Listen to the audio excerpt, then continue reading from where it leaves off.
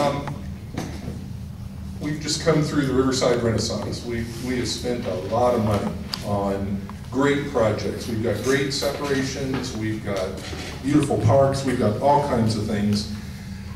Some of our residents are noticing that maybe there's not been so much spent on routine, regular maintenance. Uh, That maybe some slurry coating on neighborhood streets doesn't occur in a timely way. Streets maybe are breaking down to the point of needing replacement, not repairs. What are you gonna do about it? Mike, you get to go first. Thank you. You know, I've enumerated this on my website, Mike4, the number four, riverside.com, and I've laid this out, and I literally have hundreds of pictures of your neighborhoods that I've taken. We've got curbs, streets, gutters, some of them look like roller coasters, the patches are just horrible. We've got one-inch little uh, rises in sidewalks, our seniors can't walk them with their, their walkers, let alone anybody else coming along that's gonna trip and cause liability to the city. It probably to of millions of dollars. You know, we've let our infrastructure settle down to a point where it's not, it's not effective and it's not good for our people. We've got tree trimming, for instance, the palms on Palm, uh, they haven't been trimmed in seven to eight years according to all the local residents, and when the wind comes along, we've got hundreds of palm fronds that are falling down. We need council people that are gonna be responsive, that are gonna fix these things, that are gonna look at these quality of life issues that surround our entire city. Be proactive about it, respond to our people when they call, provide them with an answer, and do something. I'm a can-do person, and I will do, and I will help make our neighborhoods look better. We can't have roller coaster sidewalks, we can't have curbs that have been allowed to have a hump in them where they don't drain the water. This is unacceptable and will improve.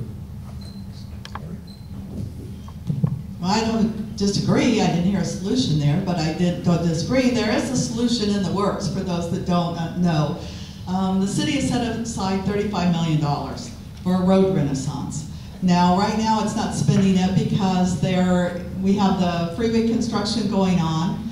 We have a reclaimed water project going down Victoria.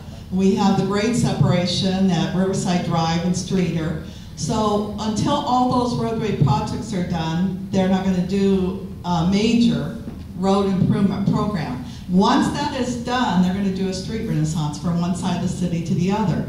In the meantime, if you call 311 when your sidewalk is raised up, they're supposed to come out and do a repair. If they don't, call your council person. Council person will, should be working with the city manager to make sure department heads are taking care of the issue.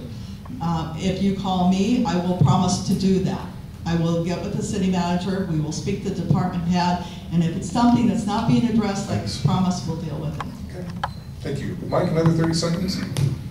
Absolutely. The real rehabilitation program, as it's called, is designed to hit certain roads. One of them is Magnolia, and there's a few others that are in there, and they're not all in Ward Three. And that is spread out throughout the city on just some of our major routes that, as one lady told me, I'm gonna have to trade in my car for a four by four, so I won't lose my front end. You know, and that's ridiculous. It's been allowed to go too long. We've not done preventative maintenance with uh, slurry seals and sealing. Talked to people that have said that they moved in in 1974 and their road's never been touched, ever. That's unacceptable, not gonna happen on my watch. And as your council person, I will be your advocate, and I will work hard to be able to take care of these Thank you. problems.